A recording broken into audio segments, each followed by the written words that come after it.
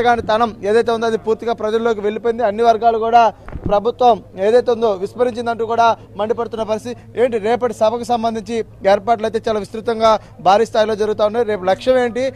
పవన్ కళ్యాణ్ చంద్రబాబు ఒకే వేదిక నుంచి ఏం చెప్పబోతా ఉన్నారు? ఆరు లక్షల మంది వస్తారు.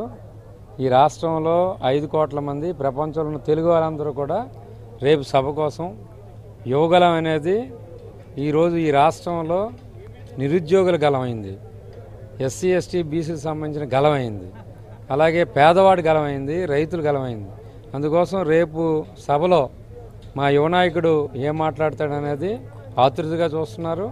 అలాగే రేపు సభలో చంద్రబాబు నాయుడు గారు అలాగే జనసేన అధినేత పవన్ కళ్యాణ్ గారు రేపు జరగబోయే ఎన్నికలకు సంబంధించి ఒక శంఖారం పూరించడం జరుగుతుందని సందర్భంగా తెలియజేస్తున్నారు ఉత్తరాంధ్ర వేదికగా మరొకసారి ఈ సభ జరుపు అప్పట్లో చంద్రబాబు గారు వస్తున్నా మీకోసం కూడా ఉత్తరాంధ్ర ముగించి సభను ఇదే ప్రదేశంలో ఆయన పెట్టిన పరిస్థితి. ఆ తర్వాత విజయం సాధించారు. వచ్చే ఎన్నికల పైన ఈ సభ కావచ్చు యువగాలం కావచ్చు ఎలాంటి ఇంపాక్ట్ చూపబోతాం ఖచ్చితంగా ఏ వర్గం కూడా ఈ ప్రభుత్వాన్ని జగన్మోహన్ రెడ్డిని యాక్సెప్ట్ చేసే పరిస్థితి కనబడడం లేదు. అన్ని వర్గాలు కూడా ఈరోజు అసంతృప్తితో ఉన్నాయి. రేపు నూట డెబ్బై ఐదులో సింగిల్ డిజిట్ వైసీపీ కానీ ఖచ్చితంగా చెప్పగలను. అలాగే తెలుగుదేశం జనసేన ప్రభుత్వం ఏర్పాటు చేయడం జరుగుతుంది. పేద ప్రజల్ని రక్షించడం జరుగుతుంది రైతులను రక్షించడం జరుగుతుంది. అలాగే ఈ రాష్ట్రంలో ముఖ్యంగా దళితులు ఎస్సీ ఎస్టీ మైనార్టీస్ ఈ ప్రభుత్వంలో ఏ విధంగా హింసించబడ్డారో ఏ విధంగా అవమానపడ్డారో అవన్నీ కూడా బదులు తీర్చడానికి ఎప్పుడు ఎలక్షన్ వస్తుందని ఈ వర్గాలన్నీ చూస్తున్నాయి.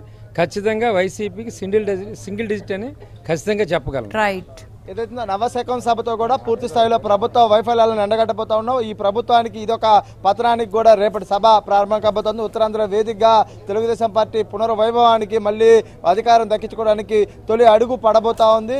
రాష్ట్రంలో నష్టపోయిన ప్రతి ఒక్క పౌరుణ్ణి ప్రతి ఒక్క వ్యక్తిని కూడా నారా లోకేష్ కలిసి వారి సమస్యలు తెలుసుకొని యువగలం ద్వారా కూడా ముందుకు వచ్చారు యువగలంలో ఏదైతే ఆయన గుర్తించిన అన్ని అంశాలకు సంబంధించి రేపు ప్రసంగంలో కూడా ఉండబోతా ఉంది. ఖచ్చితంగా ఏదైతే వైసీపీ ప్రభుత్వానికి ఇంటికి పంపించడమే లక్ష్యంగా రేపటి సభ నవశకం జరగబోతున్నట్టు కూడా టీడీపీ నేతలు నమ్మకాన్ని దీవాన్ని వ్యక్తం చేస్తా ఉన్నారు. Over to you Shravanthi right thank you Anil